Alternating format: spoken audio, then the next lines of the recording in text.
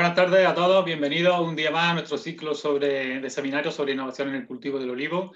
Eh, soy Lorenzo León, el responsable del proyecto de investigación titulado Investigación, Innovación y Mejora Genética de Olivo. Eh, como sabéis mucho, en el marco de las actividades que desarrollamos en este proyecto, hemos ido viendo a lo largo de estas sesiones, de estos seminarios, eh, diferentes temas relacionados con la floración, con el cambio climático, con las variedades para el cultivo en seto, eh, con variedades resistentes a enfermedades vasculares, nuevas zonas de cultivo. Siguiendo un poco el hilo de este proyecto, hoy, que es nuestro último seminario eh, del proyecto dentro de este ciclo, tenemos la presentación Variedades tradicionales de olivo, un mundo por descubrir y conservar. Esta presentación correrá a cargo de la doctora Angelina Belay. Eh, Angelina es compañera aquí en Alameda del Obispo, en el IFAPA en Córdoba, investigadora titular y responsable del Banco Mundial eh, de Germoplasma de Olivo del IFAP. Eh, como verán a continuación, durante su presentación, Angelina tiene una amplísima experiencia, un gran conocimiento sobre variedades de olivo. Eh, la colección de variedades que maneja en el Banco de Germoplasma aquí en, en, el IFAPA en Córdoba incluye cientos de variedades de todos los países del mundo y sigue ampliándose continuamente. De todo ello nos hablará en el seminario con, con detalle. Antes de, empezar, desde el punto de vista práctico, permítanme recordarles de nuevo las normas básicas de funcionamiento. El audio y el vídeo eh, está deshabilitado en todos los participantes. Eh, la herramienta de la que disponen para comunicarse es el canal chat que encuentran en la parte inferior de sus pantallas. A lo largo de la presentación de Angelina pueden ir realizando las consultas, las preguntas que vayan considerando oportunas y al término de su intervención pues, haremos una ronda de, de respuestas. También les recuerdo que el seminario, este seminario virtual está siendo grabado y que posteriormente estará a su disposición en los próximos días en la plataforma Servizpad. Así que sin más dilación, le cedo ya la, palabra a Angelina y nos volvemos a ver al final de la presentación para una ronda de preguntas. Angelina, cuando quieras. Gracias, Loren. Eh, muchas gracias, Lorenzo, por tu presentación. Eh, como ya has comentado, hoy voy a hablar de la variedad tradicional de olivo que es un mundo por descubrir y que consiste en un mundo por descubrir y conservar. La mayoría de las variedades de olivo son variedades tradicionales.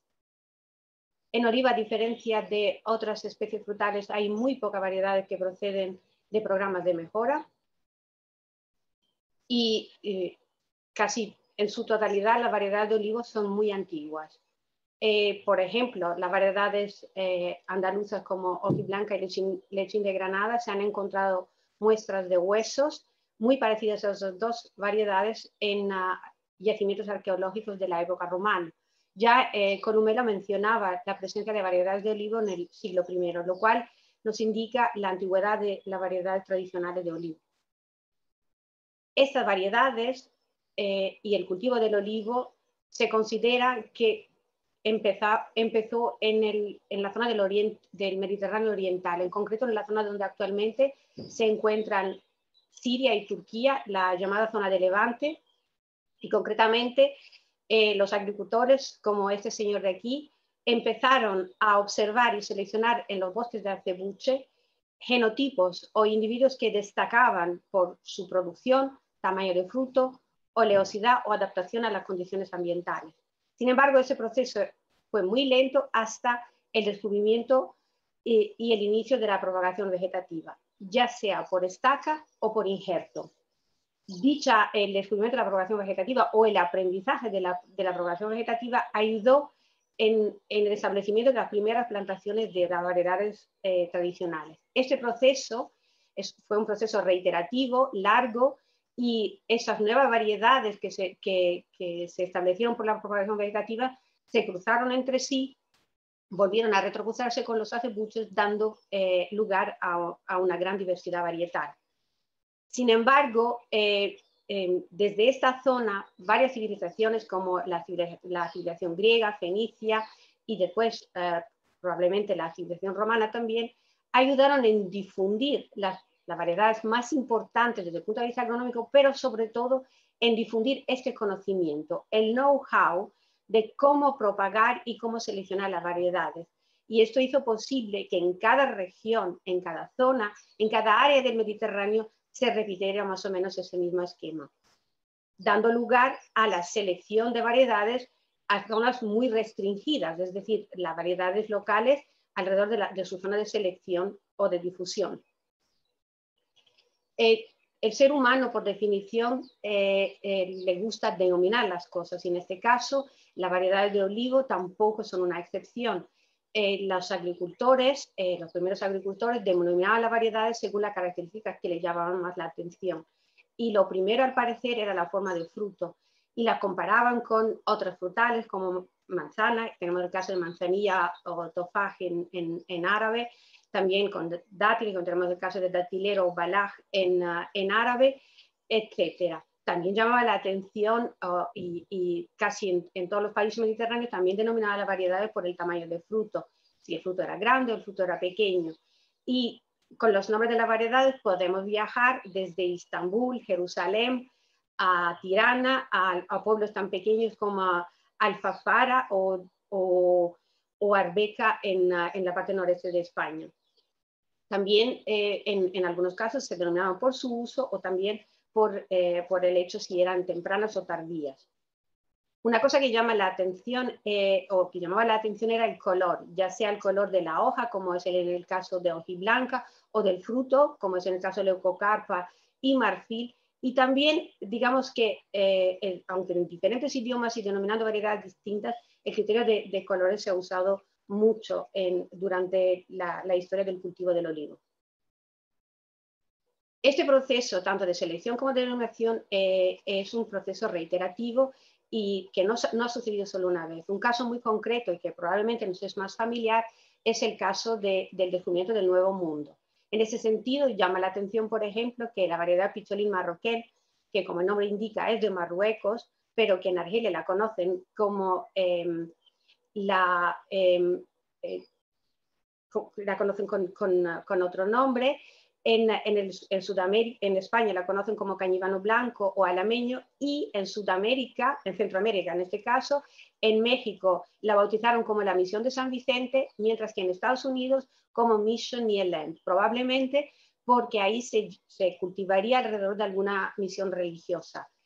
Un caso diferente es el caso del caso de Manzanilla de Sevilla, que en algún sitio le llamaron igual como su nombre y, corresponde con la identidad varietal, pero en otros sitios como en, en Chile eh, y en Argentina la llamaron manzanilla aceitera y esa variedad no corresponde con ninguna de las variedades que nosotros tenemos en la colección.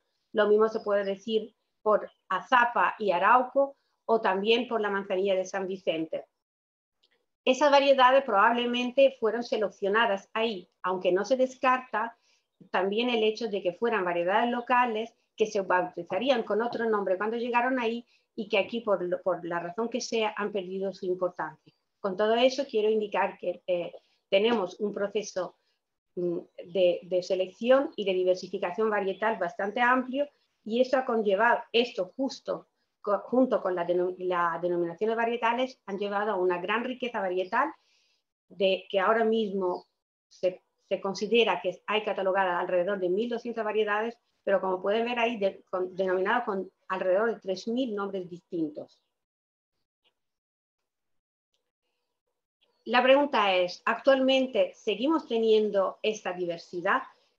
Eh, la diversidad de la que he hablado corresponde con una olivicultura tradicional, como he dicho, una olivicultura que procede de una selección local por los agricultores, como se indica aquí en el mapa de Andalucía. Sin embargo, en los últimos años la olivicultura ha subido muchos cambios. Eh, ha pasado de una olivicultura de recolección mecanizada, de alta densidad y de una globalización de los mercados de, de la industria viverística. Todo ello ha llevado a la demanda, difusión y propagación de variedades más interesantes. Y, esto, junto con la necesidad de obtención de nuevas variedades, están llevando a una situación de escasa diversificación varietal en el olivar actual. A modo de ejemplo, en nuestra comunidad, en Andalucía, una comunidad olivarera por excelencia, eh, en 1984, don Diego Barranco hizo un trabajo de prospección en la cual eh, identificó alrededor de 156 variedades que las clasificó algunas como 10 de ellas como principales, es decir, eh, que formaban base de las plantaciones y que tenían una superficie dominante en alguna comarca y eran importantes a nivel nacional, y otras, alrededor de 53 variedades locales y restringidas y muy poco conocidas en una zona. 30 años después, podemos hablar de una brecha de esa gran diversidad de variedades locales y la situación actual en el olivar andaluz. Y en esto se, refleja en la distribución varietal en, eh, la superficie de, la, de, la, distribución de la variedad aquí en Andalucía.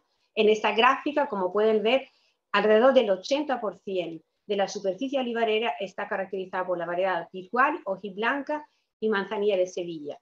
Y variedades que en, ese estudio previo que les he hablado, que estaban considerados como principales, como la verdeal de Hueva, Gordeal Sevillana, Loreña, ahora tienen una presencia casi, casi testimonial. Y si tuviéramos que hacer de nuevo este estudio, probablemente no la clasificaríamos como variedades principales. Esto se agrava por el, por el hecho que la, la, mayoría de los viveros en Andalucía producen plantas de muy pocas variedades, como arbequina, picual y hojiblanca, mientras que el resto de las variedades constituyen solo un 8% de la producción de plantas de vivero en Andalucía. Toda esta situación puede llevar a un riesgo de erosión genética, pero no es exclusivo ni, ni solo de nuestra región ni solo de nuestro país. También en Italia y en otros países mediterráneos como Portugal, Grecia y Marruecos se observa la misma tendencia, siendo en algunos casos, como en el caso de Portugal y, Marruecos, solo una variedad la que predomina el olivar. Eh, galega vulgar y picholín marroquín respectivamente. Esta situación de, riesgo de erosión genética, o sea, situación de eh, erosión genética lo tenemos que parar o tenemos que hacer todo lo posible para frenarlo, porque la variedad tradicional de olivo no solo representan un legado de diversidad de muchas generaciones, como he dicho, pero también una reserva estratégica para el cultivo del, olivo. Eh, ellas podrían ser una fuente de variabilidad muy útil ante nuevos e improvisos cambios climáticos, fuente de resistencia a tolerancia de plagas o enfermedades eh, existentes o emergentes y también una fuente importante de diversidad para, ah, para producir nueva variedad por, programas de mejora genética. Además, las variedades locales representan un valor añadido al producto de olivar. Y a modo de ejemplo, aquí tienen las denominaciones de origen de, de, de aceite de oliva virgen extra en Andalucía. Y como pueden ver en este mapa, variedades como em, la verdala o las variedades como eh, tempranillo de lucena son variedades muy locales, pero que, dan un valor añadido, forman parte de esas denominaciones y dan un valor añadido a esas denominaciones. También otras variedades que no son tan conocidas y están solo difundidas o secundarias, eh, le dan un valor, un valor, añadido y muy importante a, estas denominaciones de origen. Por todo ello, la salvaguarda del patrimonio varietal acumulado durante siglos de cultivo es una tarea muy importante. Y en olivo, esta tarea, siendo el olivo una especie de propagación vegetativa, como he mencionado antes, se lleva a cabo en colecciones de campo, que también eh, son conocidos como bancos de germoplasma. En este sentido, el establecimiento de la colección mundial de variedades de olivo hace cinco décadas en el centro IFAP Alameda del Obispo fue el primer esfuerzo nacional e internacional para el conocimiento y la salvaguarda de los recursos genéticos del olivo. En realidad fue un proyecto coordinado por el, INIA, la FAO y apoyado por el Consejo Olícola Internacional. Se encuentra, como he dicho, aquí en el Centro IFAPA Alameda del Obispo de Córdoba. Aquí tienen una vista aérea de nuestra colección mundial de variedades de olivo. Formamos parte, nuestro banco de homoploma forma parte de la red internacional de las colecciones del COI y junto con eh, la, colección mundial de Marrakech y de Izmir representan una de las tres colecciones mundiales de referencia, siendo el nuestro la primera colección mundial de referencia en el cultivo. Un proyecto de esa envergadura es, eh, eh, sin, lugar a duda, un proyecto coordinado, multidisciplinario y multiinstitucional. Aquí tienen indicadas algunas de las instituciones con las que colaboramos o hemos colaborado durante esas cinco, décadas de la existencia de nuestra colección. Como eh, he indicado y como es lógico, la principal tarea, la principal misión que, tiene nuestro banco de germoplasma es conservar en colección todo el patrimonio genético del olivo a nivel local, nacional y mundial. En ese sentido, actualmente en nuestra colección Mantenemos más de 1.100 entradas procedentes de 29 países. Cada entrada consta de dos o tres árboles por, por accesión y además para evitar cualquier tipo de improvisos, eh, ya sea medioambientales o incidencias de plagas, enfermedades y para proteger de todas formas eh, esta gran diversidad que tenemos, se ha establecido en nuestro centro IFAPA de Mengíbar, Jaén, la copia de seguridad en la, en la cual hasta la fecha hemos trasladado alrededor de 900 entradas y ahí se mantienen dos árboles por cada entrada. ¿De dónde proceden eh, las variedades que mantenemos en nuestra colección? Como es lógico, proceden de trabajos de, prospecciones nacionales que siempre hemos llevado a cabo en muy estrecha colaboración con la Universidad de Córdoba, también de la colaboración con la red de bancos de germoplasma coordinada por el COI, pero también con colaboraciones con otras instituciones nacionales e internacionales. Y en ese sentido, aquí tienen el mapa de, la, de, la, variedad que mantenemos en nuestro banco de germoplasma. Yo siempre digo, aunque ahora no es el momento, que alguien que nos visita en nuestro banco de germoplasma tiene la oportunidad de viajar en el mismo día desde Pakistán, Irán, a México, Estados Unidos eh, y de vuelta desde Argentina a España, Italia, Grecia y Turquía sin visado, sin pasaporte y ahora que se va Trump incluso sin aranceles. Eh, yo eh, entiendo que ahora no es el momento, pero les invitaría a todos y cada uno de ustedes que nos inviten y que conozcan nuestra colección cuando las condiciones lo permiten.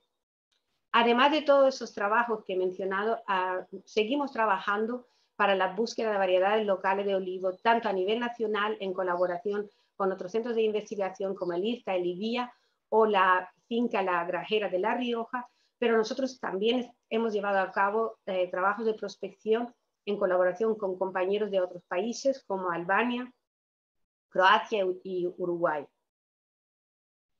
Y estamos eh, llevando a cabo, hemos empezado hace unos años, una campaña de búsqueda de variedades locales de olivo aquí en Andalucía. Hasta la fecha, en ese proyecto, hemos eh, podido eh, encontrar un total de, de, alrededor de 180 árboles, más de 160 variedades, o sea, eh, olivos cultivados, perdón, olivos cultivados, árboles que pertenecen a olivos cultivados y 16 acebuches. Aprovecho la oportunidad en este momento para agradecer la colaboración de todas las OCAs, de todos los agricultores, todas las personas que con su generosidad nos han permitido eh, encontrar eh, esos árboles y también trabajar o incluso entrando en sus fincas. Aquí tienen algunos ejemplos o, algunos ejemplares de lo que hemos encontrado en esta búsqueda de, variedades locales. El olivo de los frailes se encuentra en la provincia de Málaga, el olivo de Cerro de Caballo en la provincia de Huelva, el de Benizalte en Órgiva, Granada y por supuesto nuestra estrella, el olivo de la Mezquita, nuestra señal de identidad aquí en Córdoba. Eh, la búsqueda de, la variedad de olivo es, un trabajo muy bonito que da muchas satisfacciones y muchas sorpresas. Hace unos años, en un proyecto eh, de la Junta de Andalucía la Universidad de Córdoba, en el que nosotros participamos para la búsqueda de olivos monumentales, encontramos un olivo centenario llamado el olivo de Arroyo Carnicero, que según nuestros datos era diferente a los que teníamos en aquel entonces en, en el Banco de Hermoplasma, pero no sabíamos a qué variedad pertenecía volviendo buscando variedades locales, nos encontramos que en la zona de Río Gordo, que está muy cerca de donde se encuentra el olivo, hay una variedad local llamada picudo de la, de cerquía, que es igual a por lo menos uno de los pies de ese olivo monumental. También confirmamos en otro caso, como es en el caso del olivo de agua amarga, que se encuentra en la provincia de Almería, que sigue siendo una variedad diferente al resto de la variedad que mantenemos en nuestra colección.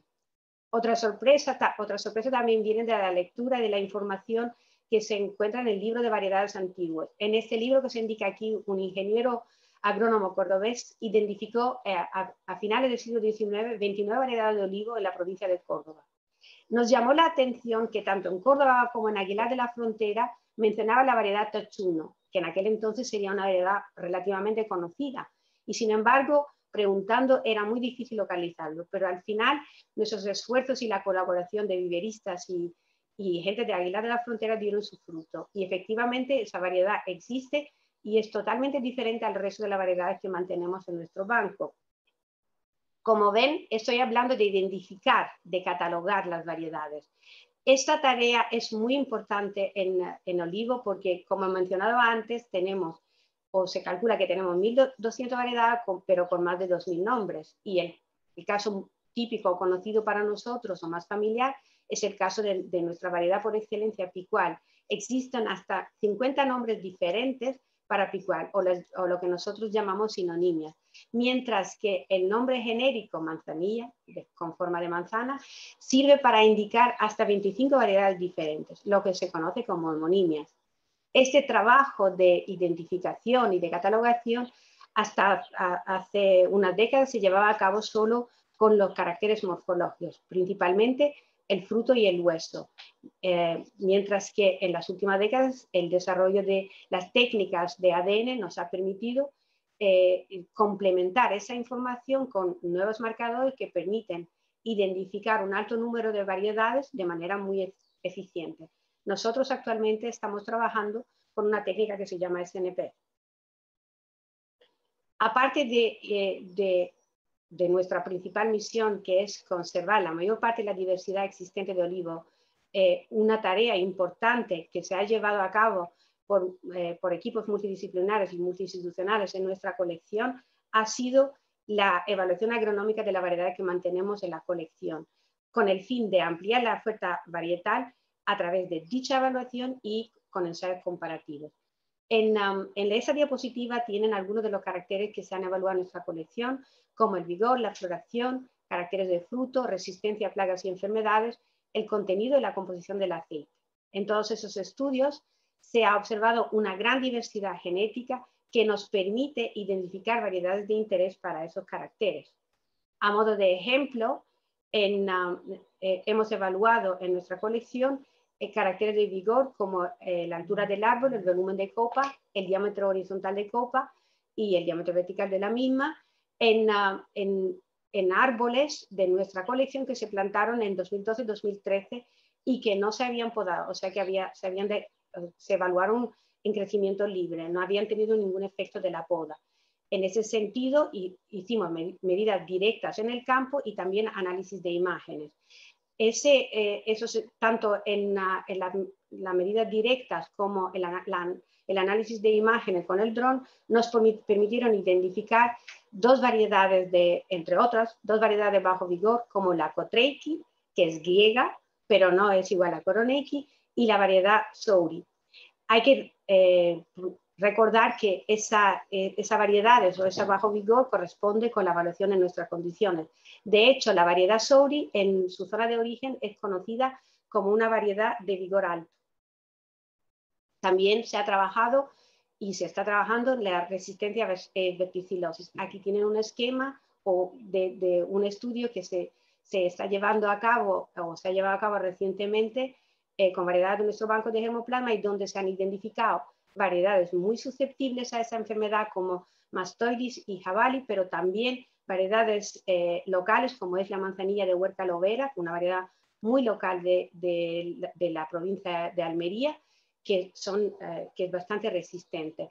Si eh, los resultados de ese trabajo y, y en general de, de, esa línea de investigación la, la, pueden ver muchísimo mejor y más detallado en, uh, en el vídeo YouTube que actualmente está disponible de la charla que dio nuestra compañera Alicia Serrano hace unas semanas. Eh, también estamos trabajando en la búsqueda de fuente de tolerancia y resistencia a Xylella fastidiosa.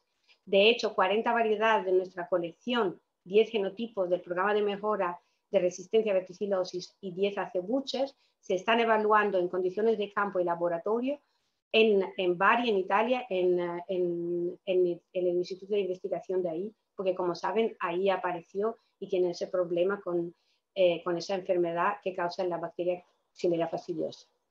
De la misma manera, 77 variedades eh, de nuestra colección se están evaluando en condiciones de invernadero y campo en Mallorca, en Mallorca, en la isla de Mallorca, donde también ha aparecido esta enfermedad. Ese estudio se está llevando a cabo en, um, en un proyecto nacional y las instituciones que participan se indican ahí. De nuevo, les, invito a que vean el vídeo de Alicia, donde se, especifica mucho mejor el trabajo que hemos llevado a cabo. Eh, en cuanto a, la composición y la calidad del aceite, también hemos evaluado el contenido de, en vitamina E de 96 variedades. Y ese estudio nos ha permitido la identificación de eh, variedades como Dokar, Kukiras y Yumeta que presentan un alto contenido en vitamina E de eh, más de mil miligramos, miligramos perdón, por kilogramos de aceite, que para que se hagan una idea, la picual y arbequina presentan unos valores de alrededor de 315, que serían casi en la zona baja de, la gráfica.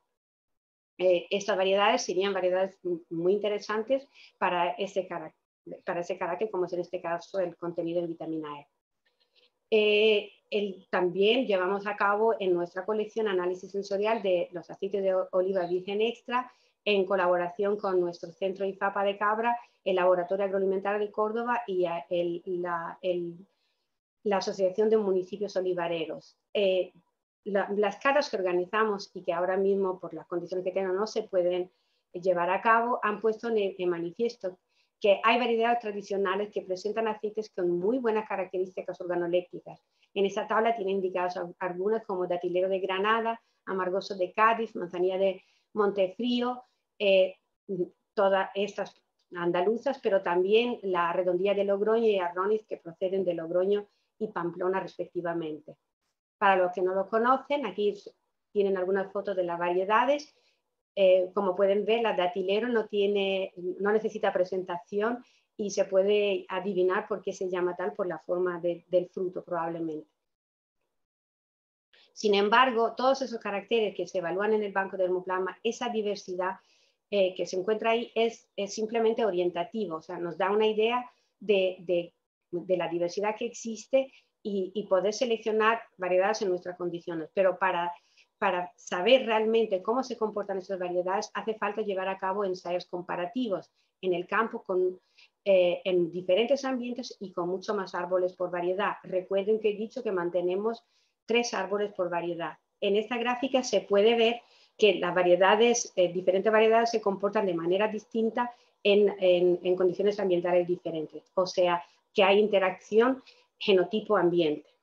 También, y perdonen que insista tanto, nuestro compañero Raúl de la Rosa hace poco presentó el proyecto que llevamos a cabo, los, los diferentes ensayos comparativos que llevamos a, cabo en, ah, Andalucía y, y, también les invito que escuchen esta charla donde pueden encontrar una información muchísimo más amplia, probablemente muchísimo más correcta que la mía.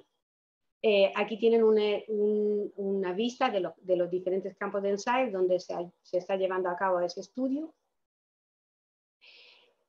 Y aparte de, todo lo dicho, la, gran diversidad que mantenemos es un punto de partida para, um, para el programa de mejora eh, que llevamos a cabo aquí en, en, nuestro centro IFAPA, la media del obispo, pero también ha sido utilizado en el programa de mejora conjunto entre el IFAPA y la Universidad de Córdoba. De hecho, alrededor de 40 variedades han sido empleadas en, este programa de mejora, ya sean cruzamientos dirigidos eh, para caracteres diferentes como la resistencia a repilo, eh, alta producción, alto contenido en aceite, pero también en ensayos de polinización libre. Y ahí tienen la variedad que se han empleado en cada caso, o por lo menos algunas de ellas.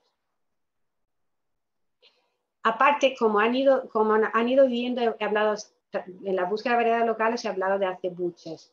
Y porque nosotros, aparte de trabajar en búsqueda de variedades locales, también trabajamos en, en, la búsqueda y conservación de acebuches, porque consideramos que el olivo silvestre puede ser una nueva fuente de diversidad muy interesante para caracteres que no se encuentran fácilmente en el olivo, como el bajo vigor o la resistencia a plagas y enfermedades. Y en ese sentido, también les hago saber que tenemos un banco de germoplasma silvestre aquí en nuestro centro IFAPA, la Mega del Obispo, donde actualmente mantenemos alrededor de 260 genotipos de diferentes procedentes.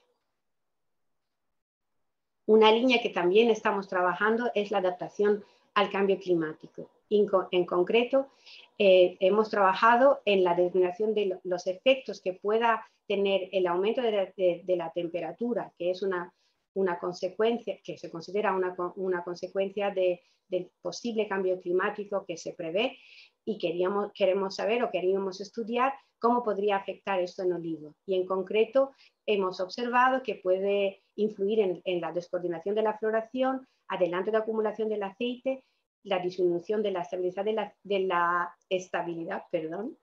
del aceite, entre otros. Eh, también estamos trabajando en la evaluación de variedades del Banco Mundial de Germoplasma de Olivo para ver si se encuentran variedades que se pueden adaptar a condiciones adversas y que se puedan utilizar en la mejora genética para este fin, para poder, eh, digamos, dar a las futuras generaciones de olivareros variedades que se podrían adaptar a esas condiciones adversas. También en ese sentido, eh, les invito a que escuchen la, charla que dio nuestro compañero Ignacio Lorita hace poco, porque él es el encargado de coordinar la línea de adaptación al cambio climático aquí en, en, ah, nuestro centro IFAPA. Pero una charla muy interesante eh, sería la de nuestra compañera, también sería la de nuestra compañera eh, de, Canarias, Guachimara Medina Alonso, que habló de, digamos, de esa situación que, que, tienen en Canarias, que es muy parecida a lo que se considera que va a ser el, que van a ser las, las, futuras condiciones climáticas aquí en, en, la península. Es una charla muy interesante y también les invito que, que la sigan. De todo esto que he dicho, quisiera indicar que a pesar de todos los esfuerzos que hemos llevado en las últimas eh, cinco décadas, todavía queda mucho por hacer. Como han visto, todavía queda por conocer, recoger, conservar y documentar toda la diversidad varietal que realmente existe en olivo.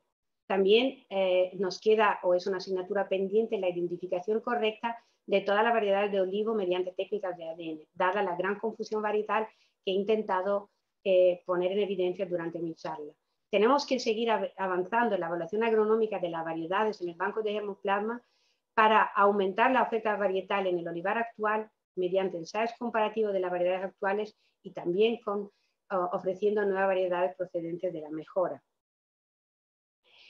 En el IFAPA, aquí en el, en el Banco de Germoplasma Mundial de Olivo, somos muy conscientes que las variedades de olivo son un tesoro y un legado de generaciones pasadas y presentes de agricultores, de su trabajo durante siglos de cultivo. Y justamente por ello las mimamos las mimamos y las cuidamos para poder transmitirle a las futuras generaciones, porque consideramos que la salvaguarda de variedades de olivo es una garantía del futuro.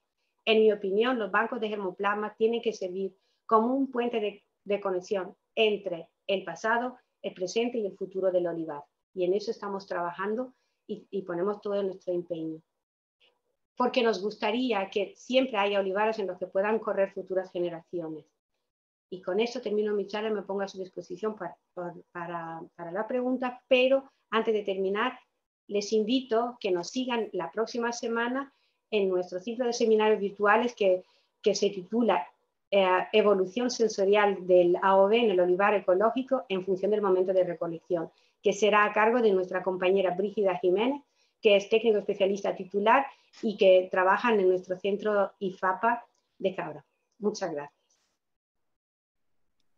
Muy bien, pues muchas gracias Angelina. Una presentación, como esperábamos, muy completa, con mucho contenido. Eh, han ido lanzando algunas preguntas a lo largo de, tu presentación. Creo que la mayoría de ellas, si no respondidas, sí que ha hecho algunas referencias, pero aún así te la, creo que es conveniente repetírtela y que profundice un poco en los temas que, que han ido tocando. Eh, mientras voy preguntando, os animo a que sigáis eh, lanzando vuestras preguntas a través del canal chat y se las vamos, se vamos contando ahora a Angelina. Bueno, antes de nada, eh, mm, tenemos hoy, como no cabía esperar de otra manera, un público muy internacional, representativo de la variabilidad del Banco Mundial de Germoplasma.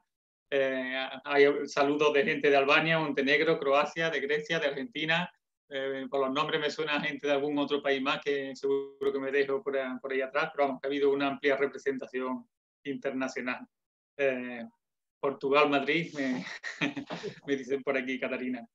Te voy lanzando algunas preguntas. Eh, Pedro José Acedo, mm, creo que ha comentado en parte de tu exposición, dice que él tiene una, una, plantación con, que él cree que tiene muchas variedades distintas y le gustaría saber cómo puede identificarla y si, si te interesa el tema, claro.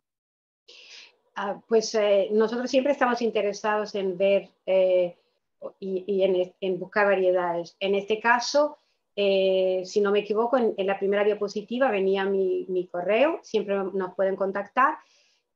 cuando la situación lo permite, podemos ir a visitar ese olivar o esta colección in situ que, tiene, perdón, no, me acuerdo del nombre, y, por supuesto que estaríamos interesados. También en ese sentido quiero destacar que, eh, porque muchas veces a todos nos gustaría hacer las cosas con mucha prisa y muy rápido, es un proceso relativamente lento, pero es seguro y, la variedad que, que resulten diferentes, pues nos gustaría contar con su colaboración para tenerlas en nuestra colección. Eh, continúo. Eh, Joan Mayol preguntaba, que también lo he comentado, pero creo que nunca está de más insistir, si podemos asimilar eh, lo que es una variedad con un clon genético, que es exactamente lo mismo o no. Sí, podemos asimilar esto, sí, por favor. y esto además en olivo, a, diferencia de la vid, por ejemplo, donde ha habido una selección clonal que ha servido para diferenciar eh, la calidad de vino, que es una, una, industria y se ha trabajado muchísimo. En olivo, eh, una variedad es un, clon.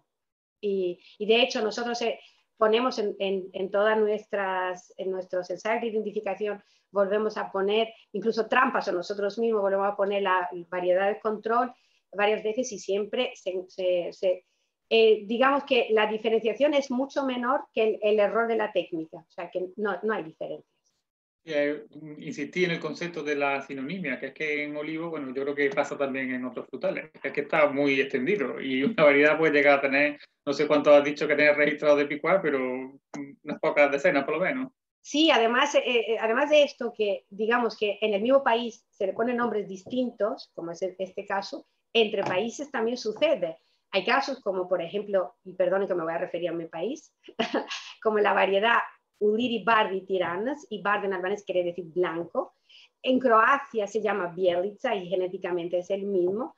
Y también hay otra variedad que se llama Istarska Bielica en Croacia, que es igual a la variedad bianquera en, en, Italia. Y en este caso lo que se ha hecho es traducir el nombre, pero en otros casos los nombres pueden ser muy diferentes, como he mencionado el caso de, de y esto es internacional. El mismo ejemplo, un ejemplo muy típico y de un país muy pequeño, es la variedad Baladi, eh, cada vez que me encuentro la variedad Baladi me pongo casi enferma porque es que tiene nombres distintos, Baladi, Baladi Ain, Baladi Cana, eh, también uh, Baladi y son todas igual, la misma variedad. y por eso es tan importante que esto probablemente no he conseguido decirlo bien en la charla, identificarlas previamente. Por eso nosotros ahora cuando vamos a, buscar variedades locales, y, lo primero que hacemos, o sea, eh, en el momento que llegamos aquí, la propagamos porque no siempre tenemos la, digamos, la oportunidad de volver, la propagamos, pero a la vez extraemos ADN para identificarla y solo las que son diferentes llevamos a nuestra colección. No sé si he respondido. Sí, sí, muy interesante. Me, surge una pregunta a raíz de esto, pero te la comento a continuación con otra pregunta que viene, que viene más adelante. Eh, cambiando un poco de tercio, Francisco Lorenzo Tapia nos pregunta por, los acebuches, que has comentado que también es una colección que tenéis en marcha, en particular sobre sus características químicas y, y, si tiene algún, algún trabajo al respecto. Ah, bueno, eh, primero saludos a Francisco, que es uno de estos ah, agricultores, o bueno, él no es agricultor, pero casi, que nos ha acompañado en la provincia de Málaga buscando variedades locales, de ahí mi agradecimiento. En cuanto a su pregunta, realmente nosotros, y, yo tenía todas las esperanzas puestas que en cuanto a calidad de aceite tuviéramos resultados muy buenos, eh, pero con nuestros estudios y hasta la fecha, a nosotros no nos resulta que, tenga características de aceite muy buenas. De hecho, eh, como tú bien sabes, en el trabajo que hicimos, Lorenzo, nosotros vimos que tenía bajo leico y, más palmítico. Yo he visto por ahí resultados contradictorios de otros trabajos, mm, absolutamente no quiero cuestionar los trabajos de los demás, pero también hay que diferenciar una cosa, eh, que no todos los acebuches son eh, genuinamente silvestres. Hay algunos que proceden de plantas de semilla de variedades o de cruces entre variedades diferentes que los pájaros llevan las semillas en alguna parte y estas probablemente pues tendrían alguna característica más, porque, pero con nuestros resultados y hasta la fecha, y nosotros tenemos una colección amplia de acebuches, no nos resulta. Sin embargo, hace poco se, hemos publicado un trabajo en un acebuche albino en, en Cataluña y los resultados son diferentes. Entonces, eh, pero mi impresión es que, que, que, no, eh, digamos que la utilidad sería más por la resistencia, por su adaptación al, al ambiente, que por su calidad de aceite. De hecho, hace unos años, la primera vez que se recogió aquí eh, variedades y acebuches, eh, la persona que nos hizo la recolección me dijo que la mezcla era espectacular, pero por separado el aceite de los acebuches no le gustaba para nada. eso es lo que yo puedo decir con nuestros datos. Es verdad, yo, de, vamos, he participado en algunos de los trabajos, como comenta Angelina, quiero recordar que eh, algunas de las pocas características que quizás encontrábamos que en, en el material silvestre eh, tenía contenido más alto era el contenido de tocoferoles y tampoco eran excesivamente mucho más altos, sino que ligeramente más altos yo creo que en ese sentido hay un poco de, mito en, el pregonar que los aceites provenientes de acebuche son mejores que los de olivo cultivado. Incluso, perdón, que eso se me olvidó, eh, me parece que me han dicho que está por ahí Tatiana Clepo, que también la saludo. En el trabajo que hicimos en su máster, eh, nosotros vimos que incluso en cruzamientos entre variedades y acebuches, eh, digamos, los que venían de esos cruzamientos, el mejor hijo era el peor de las variedades, o sea, los valores que encontramos en, el rendimiento graso en materia seca y en otras características, o sea, que por lo menos con nuestros datos, efectivamente ahí hay un poco, hombre, también me imagino que habrá un mercado, si la gente insiste tanto. Efectivamente, sí, también. Eh, ahora han entrado bastantes comentarios seguidos, seguro que me dejo alguno atrás, pero bueno, algunas preguntas ya con más compromiso, más, con más mala leche. Pregunta José María Penco si puede aquí asegurar que hojiblanca es propia de la península ibérica y no proviene de Oriente Medio. Ah, a ver, tiene muy mala leche la pregunta, pero aunque somos amigos. pero bueno, yo eh, que yo recuerdo ahora mismo, y ojo, con los datos que tenemos hasta la fecha, creo, creo, porque eso puede cambiar, eh, que no tenemos sinonimias fuera de, la, península. Pero no estoy segura porque cuando hemos ido ampliando la colección hemos visto que se encuentran sinónimos. No podría, por ejemplo, la lechín de Granada que he mencionado, y en esto hay que tener mucho cuidado, y he dicho que lo, hemos visto restos arqueológicos que se parecen muchísimo a la lechín de, Granada. Sin embargo, en nuestros estudios y en el, estudio, en el estudio que se ha llevado a cabo en la colección de Marrakech, sale igual a una variedad griega que se llama Daphnelia, que probablemente, si la memoria no me falla, no tengo conocimiento de griego, puede decir algo así como el laurel. Pero yo me puse muy contenta cuando lo vi, empecé a pensar que a lo mejor si los griegos sí. Pero sin embargo, cuando me puse a comparar los frutos y los huesos de esa variedad con la variedad Daphnelia de Grecia, de la colección griega, no son iguales. Así que aquí caben varias posibilidades. Una, que la que nosotros tenemos aquí no sea auténtica, ni aquí ni en Marrakech, o que Daphnelia sea una homonimia, es decir, que haya más de una variedad que se llama Daphnelia, pero que sean variedades distintas en Grecia. ¿Cuál es la solución? ¿Cuál es la respuesta? No lo sé.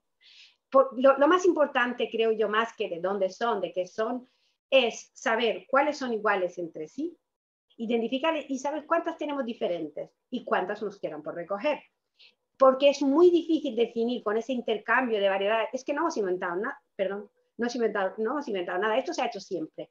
Cada uno que se ha ido de, lleva su civilización, su cultura, su manera de construir y también sus plantas.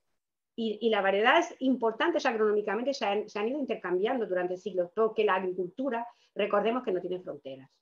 Las fronteras son muy artificiales, en la agricultura no existen. ¿Tú crees que es posible que haya variedades originarias de una zona concreta que hace cientos de años se llevaran a otro sitio hayan desaparecido de su zona original y sin embargo hayan prosperado en aquel sitio donde fueron e incluso que hayan podido volver luego de nuevo a su zona de origen y ya es imposible eh, saber Por supuesto que lo creo. He dado no sé si lo he explicado bien porque estaba muy nerviosa con el, error este que tuve con, con, la charla. Sudamérica es un ejemplo. Ah, vamos a ver. Eh, ahí se encuentra Azapa, que se llama Arauco, Azapa, que, se llama Azapa en Chile, Arauco en Argentina. Ahí tenemos manzanilla aceitera, que, se encuentra en Chile y Argentina. Tenemos falsa gordal sevillana, eh, que, es así, además que lo encontramos en la prospección que hicimos en Uruguay, lo encontramos en varios sitios, que es igual a lo que se llama Liguria. Sin embargo, yo no, sabe totalmente diferente al resto de la variedad italiana que nosotros tenemos. ¿Qué pasó? Puede ser que esa variedad estuvieran aquí y se perdieran, pero también puede ser que se seleccionaron. La gente que se fue ahí sabía, conocía el olivo muy bien. Entonces sabía que si, aparecía una planta que nacía de una semilla que, que era diferente, que tenía algo interesante, lo seleccionaba. De hecho, hace poco leí que hay un monasterio por ahí, ya que hablamos de curiosidades, una isla griega, creo que es, no, no estoy segura si Creta o por ahí, que los monjes se siguen haciendo esto, o sea que pues de, de, la, de, la, variedad que tienen ahí saltan, salen las semillas, o sea, si ven semillas que salen de forma natural, las seleccionan, la propagan vegetativamente y así, y tienen su jardín de olivos ahí. O sea, es una cosa que se ha hecho siempre y que se sigue haciendo. ¿eh? porque, porque a pesar de que creemos, y es verdad lo que he dicho yo, y es preocupante que hay, perdona Lorenzo, que, y es preocupante que hay poca variabilidad ahí en el, en el campo, la gente que vive de eso sí que lo hace en el campo. ¿Cuántas veces nos han dicho a ti y a mí, me ha nacido esto así en el campo, a ver que sí sabe lo que es? Hace poco me, trajeron a mí una muestra diciendo, esto ha nacido y no sé lo que es. Y cuando dicen nacido, pues... Y, tanto aquí en España como en muchos otros países, a lo largo de la larga historia que tiene ya el olivo, ha habido momentos de esplendor y momentos de decaimiento, momentos en que el olivo se ha expandido muchísimo en un país y ha colonizado muchas zonas por cualquier circunstancia. Estamos hartos de verlo, incluso hoy en día. Hay crisis que se vuelve a perder una gran superficie y eso es a lo mejor en un país de una manera, en otro de otra. Así que si suma al intercambio constante de material que ha habido de un país a otro, eh, la subida bajada de un país a otro. con otros nombres. Es que lo de, lo de bautizar con otros nombres ya es dentro del país y entre países ya es muy complicado. A veces traduciendo y otra vez no tiene nada que ver con el nombre. O también a veces escribiéndolo de otra manera en el mismo idioma de otra manera. Es complicado. También preguntaba a Fran Gómez, que lo conocerás también, que has comentado el olivo de la, de la mezquita, que nos digas qué variedad es. No lo sé todavía. Eh, estamos trabajando en ello. Y, y, a ver, no lo voy a decir por, porque tú y yo nos conocemos y sabes que yo hasta que no estoy segura no lo puedo decir. Lo que sí sabemos que eh, hay un, digamos, un, documento escrito que creo que data de más o menos 1700 y algo, que ya se habla de esa variedad que estaba en de este árbol que estaba allí. Eh, lo hemos visto, hemos encontrado el mismo genotipo en olivares alrededor de Córdoba que pertenecían al obispado. Hemos encontrado alguna variedad local, no de, de aquí de Andalucía y de fuera, que da el mismo perfil, incluso mutaciones, pero yo prefiero repetir. Y por ello he pedido Hemos vuelto a recoger las mismas muestras en esos mismos sitios, hemos pedido la variedad local eh, o de la colección de donde venía en un caso y en otro caso estamos viendo. Y ahora estamos analizando los resultados. Así que. Vamos, vamos Fran, que no, que no lo va a decir. Que te pongas como te pongas, que no lo va a decir todavía. No, no lo voy a decir hasta que no esté segura. Pero estamos en ello. Eh, a raíz del tema de los acebuches nos comentaba ah, precisamente Tania que en, en, Croacia ahora mismo hay mucho interés con el tema de los acebuches. Oneida nos dice que también en Albania una situación parecida. Es verdad que hay un, un cierto boom con el tema de los acebuches. Yo, como dicen, no sé si es un tema más comercial que otra cosa, pero hasta donde sabemos nosotros nuestra experiencia no, no aporta el aceite de acebuche ninguna característica en particular que no podamos encontrar en, en la variedad para, para, añadir el comentario que Lorenzo, para los que no lo saben, yo llevo solo ocho años a cargo de, de, nuestra colección mundial de variedades de olivo. Eh, antes de, de, esa colección se encargaban don Juan Caballero y nuestra querida Carmen del Río, y yo antes trabajaba en acebuches. ¿Y qué más quisiera yo que realmente fuera así? Pero con nuestros datos, como dice Lorenzo, con esa colección tan amplia que tenemos nosotros, no, no podemos decir. Pero bueno, para la existencia sí un par de preguntas de ámbito de, otros países. Eh, nos pregunta, eh, perdón que no pronunciaré bien tu nombre, Coseila Achur. Eh, en Argelia tienen patrimonio de 36 variedades autóctonas. Nos dice que, que conocéis de aquí en, el Banco de Córdoba, que conocéis de esas variedades, cuáles tenéis, qué estudio habéis hecho sobre Argelia. y le, le, agradezco la pregunta y además la variedad, el nombre de variedad argelina que antes por lo menos me sería es Siguas, que es igual al picholi marroquí. Eh, nosotros las tenemos, creo, si no me equivoco, todas, lo que ella menciona. Eh, tenemos sinonimias, las estamos eh, estudiando ahora y de hecho en algunos casos, en estos momentos, tengo pendiente contactar a nuestro compañero, de, el responsable del Banco de Germoplasma de Argelia, para intentar averiguar algunas confusiones o algún problema, pero creo que tenemos hasta más que este número. Tenemos de la variedad de Argelia, las estamos identificando, algunas como la Siguas y la Cheblal de Cabilii, que a mí me gusta mucho, que es muy rústica, eh, muy vigorosa. Eh, sí, la conocemos, la hemos estudiado. El aceite, eh, cuando hemos hecho catas de AOV aquí, ha gustado mucho, pero digamos que estamos trabajando en ello y efectivamente tiene un patrimonio interesante. Tiago Tavares de, Portugal no es una reflexión mm, con la que yo no puedo estar muy de acuerdo por, por mi trabajo propio, pero bueno, te la, te la transmito. Él, dice que en una época, eh, eh, que por qué en vez de estar buscando nuevas variedades, hacer nuevos cruzamientos y demás, ¿por qué no ponemos en valor todo ese patrimonio que tú comentas que, que existe, con muchas variedades mm, desconocidas, poco estudiadas? ¿Qué opinas tú de eso? A ver, nosotros trabajamos en un cultivo agrícola. Entonces trabajamos en algo que demanda el sector.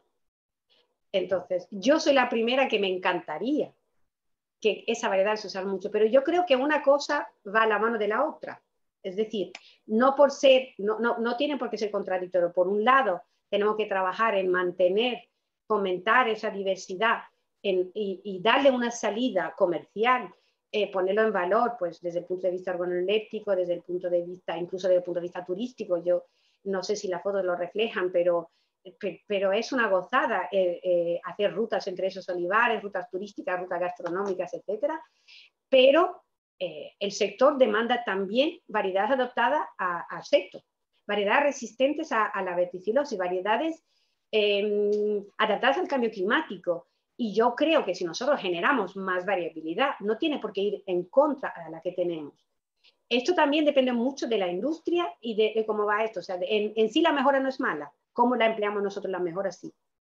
O sea, que si nosotros en el campo simplemente eh, el, agricultor, creo que no, pero si, solo se pone o se exige en esto, también un poco tenemos que buscar un equilibrio. Nosotros realmente trabajamos en investigación y eso no depende de nosotros, ¿no? Pero yo creo que la mejora en sí no tiene por qué considerarse como algo que va en contra. Efectivamente, estoy de acuerdo con Tiago que hay mucho que hacer, sobre todo en búsqueda y también en saber comparativos porque yo no le puedo decir ni a Tiago, ni que lo saludo porque lo conozco eh, desde aquí, eh, no, no, le puedo decir con nuestros datos qué variedad es interesante en su zona, si no hacemos ensayos comparativos y si no las evaluamos con más árbol Entonces, digamos que tenemos que tener ahí como un triángulo, búsqueda, ensayos comparativos y mejora. Mm, sin, sin, digamos, pensar que ninguna de esas tres cosas están en conflicto no sé, tú a lo mejor lo puedes decir mejor que yo, pero yo creo que... Totalmente de acuerdo. Gracias por incluirme en el triángulo. Eh, eh, es verdad que, como dice Angelina, eh, los retos que tenemos y los que tendremos en el futuro van a ser nuevos, cosas que ahora mismo no nos imaginamos. Si la fastidiosa en olivo no era un problema ni se nos había pasado la cabeza nunca y ahora existe. Que las variedades, estas variedades locales, antiguas que tenemos puedan dar respuesta a algo de eso, pues es posible. Yo lo veo complicado a eso o a otras cosas que están surgiendo o que surgirán. Lo que sí es muy posible es que los genes que den respuesta a esos problemas estén en esas variedades tradicionales, en esas variedades antiguas. Por eso es tan importante conservarlas, mantenerlas, catalogarlas, prospectarlas antes de que puedan desaparecer, como ha dicho Angelina, en muchos sitios hay riesgo de erosión genética. Todo esto es fundamental. Y luego la mejora en la parte que me corresponde, ya que me dedico a ello, pues intentará también aportar esas nuevas combinaciones que den respuesta a estos, a estos retos que, el agricultor antiguo ni siquiera se los pudo plantear porque no, porque no existían directamente. Hombre, aprovecho, eh, por ejemplo, eh, la pregunta de Tiago también para decir que eh, tiene nuestro compromiso, o sea, nosotros somos el mismo grupo, Recursos Genéticos y Mejora, que nosotros no vamos a, digamos, por trabajar en una cosa, nunca vamos a dejar lo otro, o sea, que tenemos el mayor empeño posible en mantener y ampliar esa diversidad. Y aprovechando que Tiago es de Portugal y él lo sabe, por desgracia siempre pasa, siempre, siempre pasa igual, que lo que tienes más cerca tienes menos. Tiago, hablaremos ya sea por correo o por, o por WhatsApp, para conseguir tener más variedad de Portugal aquí, porque tú sabes que nos falta. Por ir terminando ya, que yo creo que ya estamos un poco en el límite que intentamos marcarnos, eh, nos pregunta, perdón que he perdido, Antonio Pérez Nieto de la denominación de origen de Priego, eh, ¿Qué te parece la variedad picuda, el aceite de variedad picuda, la variedad picuda en general? Antes nos habían preguntado también la pregunta del millón. Yo sé que es imposible que dé una respuesta, pero bueno, te doy ahí la alternativa para que, para que des la respuesta que tú consideres. ¿Cuál es la variedad que a ti más te gusta? ¿Por algún motivo por otro cualquiera? O di varias que te gusten especialmente. Perdón, esto es como decirte qué hijo quieres más. Y yo los quiero todos. Para mí no hay ninguna variedad que sea buena o mala, son todas mías. o sea, mías no, ¿eh? son patrimonio olivarero, pero yo esa pregunta me lo hacen siempre y nunca me pronuncio. Me gustan mucho todas. A veces, sobre todo las que tienen el fruto pequeño, digo, pero ¿para qué la habrán seleccionado? Porque cuesta mucho recogerla, evaluarla. Pero siguen siendo todas únicas, irrepetibles y muy importantes para la colección. Así que por favor, que no me hagan esa pregunta porque nunca me voy a pronunciar de nada. Insisten, insisten, por aquí que últimamente cada vez hay más monovariedades, eh, variedades más o menos curiosas, canepera, pico, limón, chorrugo de Montefrío, tetuda, corbella, eh, muchas distintas. ¿Qué, ¿qué te parece? Pues no, nos parece magnífico. Una. Nos parece estupendo y que mientras, más variedades se pongan en cultivo, mejor todavía. Mejor, mejor todavía. Bueno, y también pues en el cultivo, el cultivo ecológico también hay muchas alternativas. Eh, en cuanto al apicudo, a mí el aceite me gusta mucho. Mm, ¿Qué voy a decir? Pues eh, nosotros también eh, quiero, quiero recordarles a todos que tenemos dos o tres variedad, en este caso tres.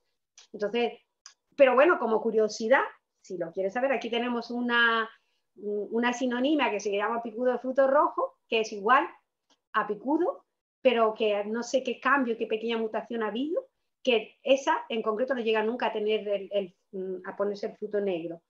Y, bueno, el aceite, pues qué voy a decir del aceite si le dan premios internacionales, o sea, a mí me gusta, pero no puedo tomar partido de verdad. Es, es eh, yo no tengo hijos, pero es como si te preguntan, ¿a quién quieres más de tus hijos? ¿no? Pues, pues no, todos son importantes para mí.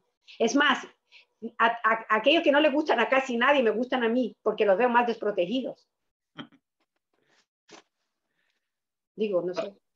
Vamos terminando. Eh, Joan Mayor insiste en pedir sugerencias bibliográficas. No sé si en algún momento lo has comentado. Lo más práctico es que te pongas en contacto por correo con Angelina y, ella te puede proporcionar la, la em, referencia que tiene.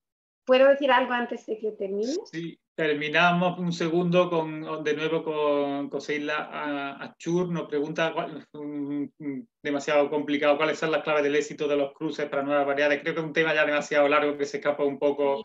Lo mismo te digo, si tienes cualquier, que nos escriba en inglés, en cualquier curiosidad en particular, nos escribe un correo y lo hablamos porque se escapa ya un poquillo más del tema.